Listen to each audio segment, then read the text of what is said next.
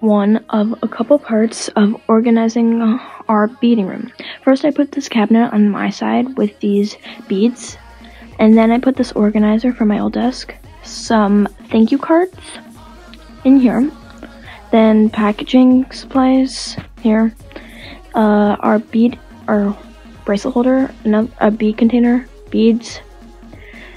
stickers for packaging, uh, bracelets and string, some paper clips and binder clips, and this is the finished result of my side.